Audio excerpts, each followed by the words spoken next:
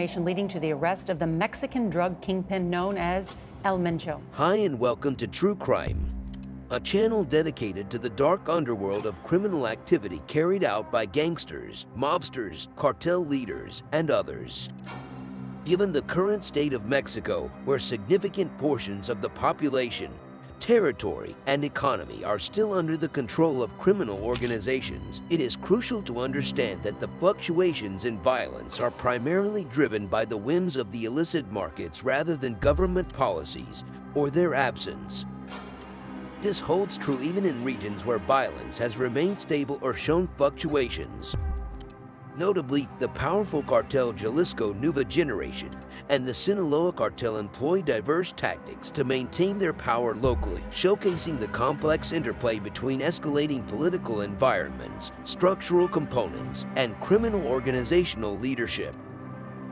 Traditionally regarded as Mexico's most potent criminal gang, the Sinaloa cartel now faces attacks from the CJNG, which has exhibited expansionary tendencies since 2015 as experts in law enforcement from both the United States and Mexico attest. The CJNG represents the changing dynamics of transnational criminal organization activity and violence in Mexico.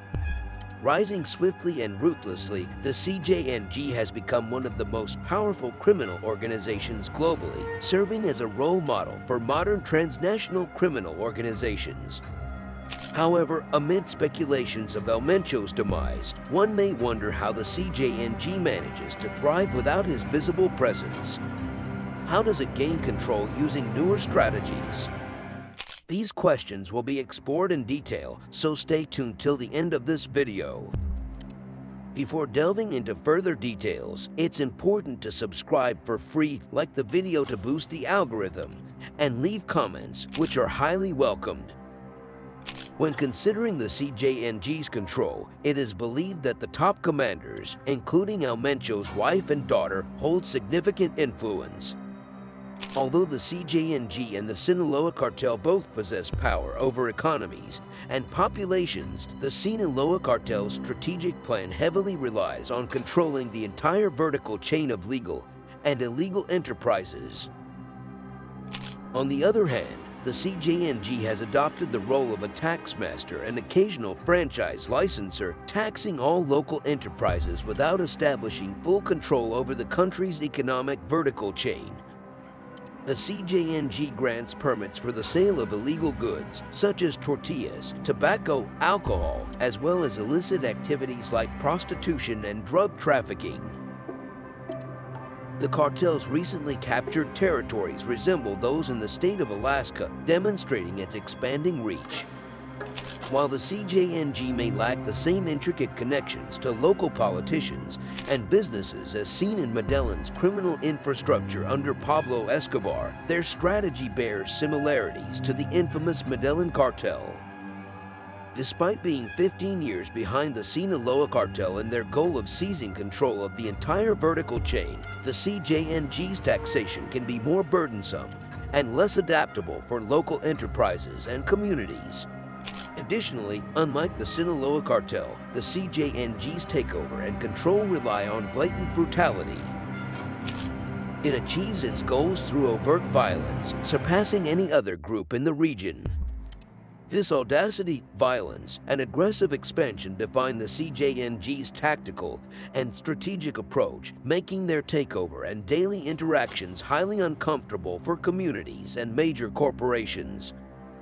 In contrast to the Sinaloa cartel's fee collectors, often described as reserved criminals and tolerable extortionists, the CJNG operators are known for their brash, intimidating demeanor, making their presence a source of discomfort and a significant challenge to overcome. The CJNG's brazenness is evident in its frequent displays of firepower, cutting-edge weapons, and high-profile public executions. The National Guard and Mexican police forces find themselves outclassed by the cartel's potent assault weapons.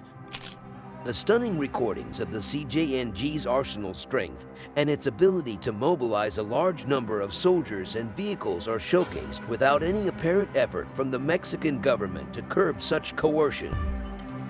Not only does the CJNG flaunt its impunity and bravery, but it also shows no hesitation in attacking police stations, police cars, and even targeting police personnel in their homes. Both the CJNG and the Sinaloa cartel aim to intimidate, bribe, and trap Mexican government officials at all levels, as well as security personnel, including local police officers, National Guard troops, and officials from security and defense ministries. While the Sinaloa cartel exercises more covert power, the CJNG has gained a negative reputation for its repeated attacks on police stations, officers, and local communities using weaponized drones, the CJNG derives much of its power from openly employing brutality and intimidation enabled by aggressive propaganda to maintain a rule of terror that prevents communities from rising against their hegemony. To achieve this, the CJNG seeks to eliminate or detain local community leaders, mirroring tactics used by armed opposition groups like the Taliban in Afghanistan or the Shabab in Somalia. Local clergy, doctors, and educators become primary targets in the power struggle between the CJNG, the Sinaloa cartel, and local groups like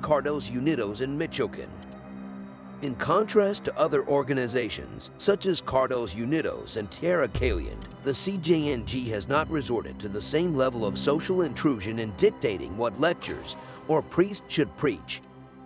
Additionally, the CJNG refrains from criticizing or organizing against local clergy and educators.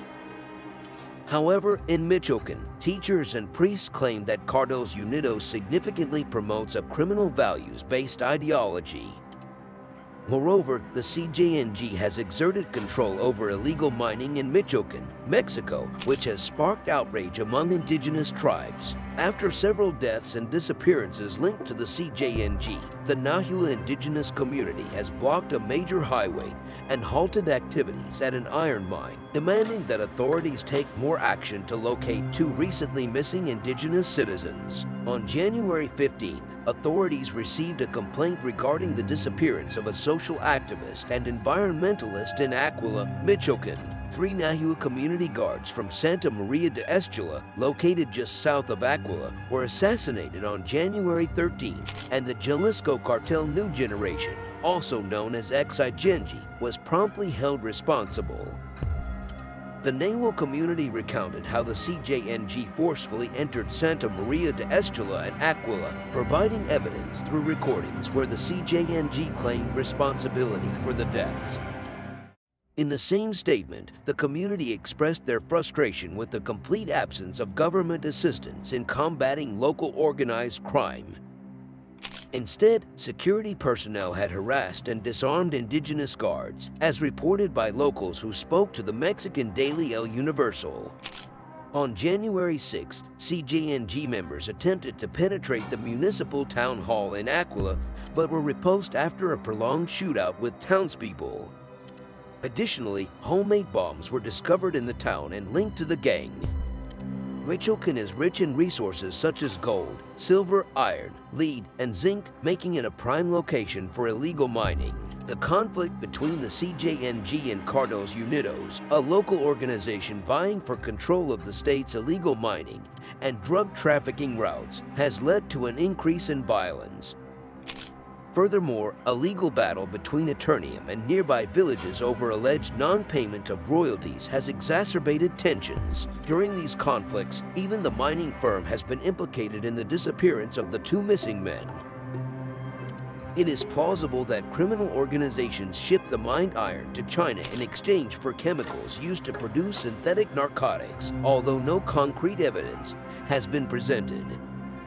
Synthetic drugs are frequently intercepted at the port of Lazaro Cardenas, and the CJNG is one of the organized crime groups involved in smuggling them into the U.S. These ongoing conflicts in neighborhood communities highlight the need for more efforts to control Michoacan's valuable mining resources. The indigenous communities fighting against the cartels continue to suffer, emphasizing the struggle for control between the CJNG, the Sinaloa cartel, and the local groups. The CJNG often needs to co-opt not only local social influencers, but more crucially, local criminal groups as well.